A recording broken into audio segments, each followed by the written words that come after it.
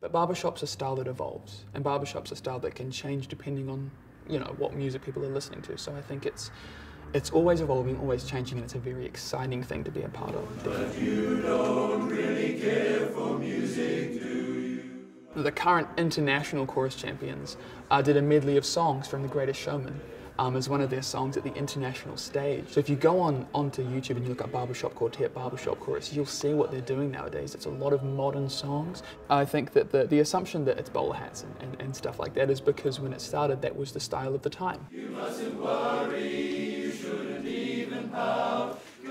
To be part of the, the sound, the Plainsmen sound, you sort of forget about who you're, how old the people are that you're singing next to, because you're just you're, you're there delivering music with them, and it's just real special.